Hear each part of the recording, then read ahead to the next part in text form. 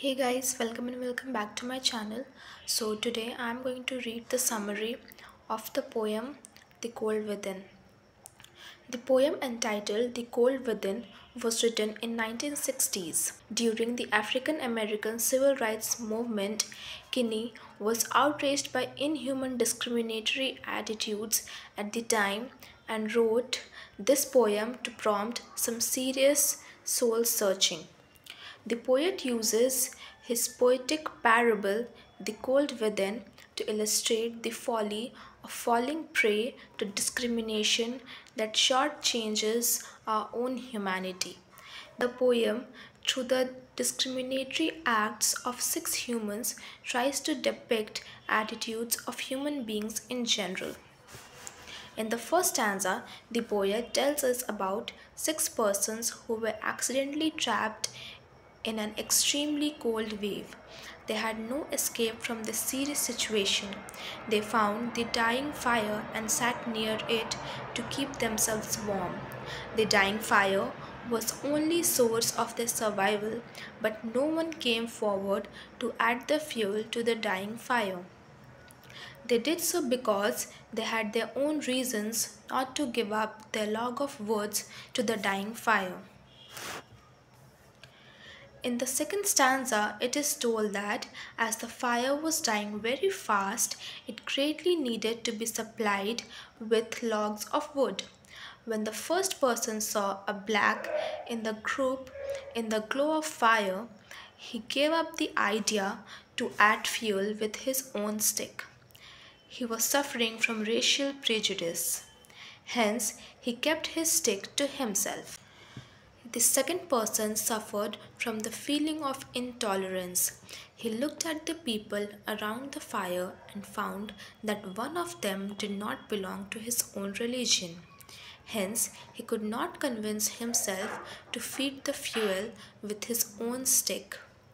He cared only for the people belonging to his own sect of Christianity. In the fourth stanza, the poem says the third one was a poor man. As he wore tattered clothes, it seemed as if he was suffering from utter poverty. He was full of bitterness and envy for the rich man who was sitting near the fire. He did not want it that the rich man could get warmth from his stick, so he prevented himself to add the fuel to the dying fire. The fourth one was a rich man. He thought of his money he had in his possession and he also thought how he could keep it away from the poor man. He thought he had earned that money through his sheer hard work, whereas poor man was lazy and therefore living in poverty. Therefore, he decided not to use his stick for the welfare of the poor man. The fifth one was the black man. He was full of hatred for the white man.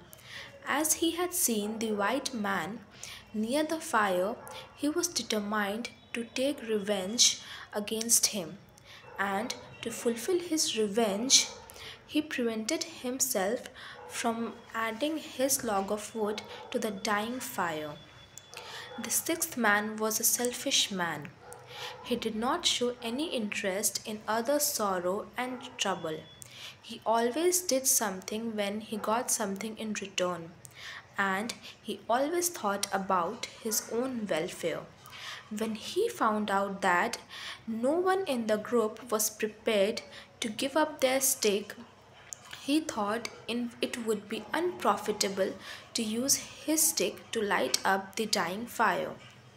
In this way, all the six persons met with a tragic end in the form of death. The fire had extinguished and their corpses were lying there motionless. But they still had their sticks held tightly in their hands. The poet points out that they perished into dust not because of the coldness outside but because of the coldness in their hearts. So that's all for today. Thank you for watching.